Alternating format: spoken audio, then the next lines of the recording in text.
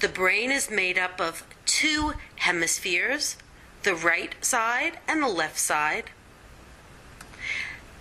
And underneath the hemispheres lies the hippocampus. Now, the hippocampus, since 1999 2000, has gotten a lot of attention regarding the neuroscience research.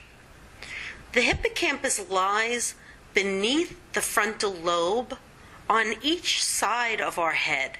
There's two hippocampus, hippocampi, and they are located directly above the ears in your brain.